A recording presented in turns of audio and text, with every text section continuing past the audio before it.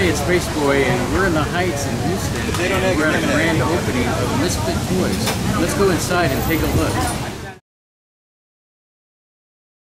Hey, uh, this is Space Boy of Space Boy Universe, and we're here at Misfit Toys. And Ow! You want to introduce yourselves? Sure, I'm Daniel Blackbird, the owner.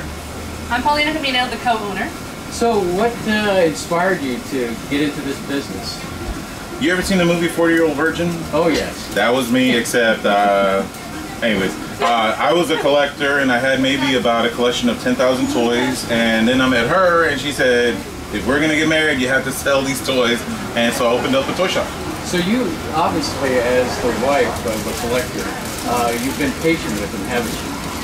Oh yeah, he totally got me into it. Um, I collect now myself too, you know, throw figures, but uh, yeah, we had a little bit too much. So, uh, you know, I, I was going around the shop today, and I noticed kind of a more of a theme is more horror type monsters. I see the Godzilla, I see uh, some of the uh, classic horror movies over there. Tell me, uh, is that more the theme for your shop? Oh yeah, absolutely. This is gonna be horror, sci-fi, and vintage. Nothing else, no junk. No Pokemon, no magic, no squares. It's like the good stuff, the hard stuff to find. We had people uh, a guy from Germany was like, hey man, I've been looking for this one figure. It was an alien figure that was kind of rare, so I really want to specialize in that kind of stuff. Hard to find stuff. Yeah, I noticed on the wall here, I'm a big Aliens fan, Oh, so yeah. it was like I was really impressed with what you have here. And, Thank you. uh, It's quite quite an interesting collection, so I'm, I'm definitely going to be back to to raid the vault here, so to speak. Awesome. So, Oh, yeah. so um, is this your first time opening the shop? We've been at uh, on and off at like uh, Traders Village, places like that for three years. And last year we went legit and started setting up at Comic Palooza, Space City, any of the local events like the uh, Carpocalypse, the Zombie Walk.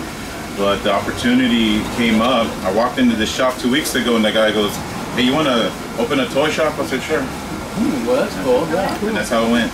Um, so tell me, if people want to reach you on the web, how do they do that? On uh, Facebook, it's Misfit Toys Texas.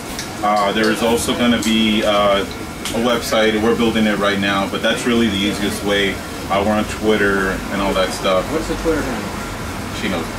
At Misfit Toys TX. Cool. And, and our address here?